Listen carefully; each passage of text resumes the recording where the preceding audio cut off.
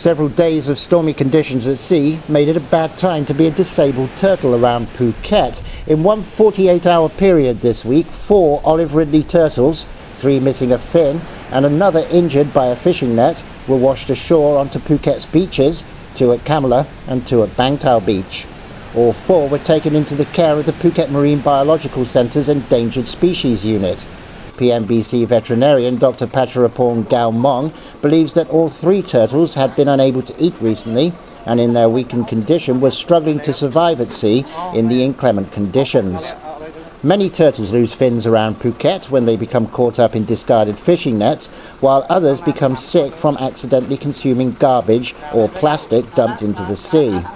This monsoon season had seen more than 10 sick turtles washed ashore so far, most of the endangered creatures had lost flippers and some were suffering trauma and infections from swallowing plastic bags.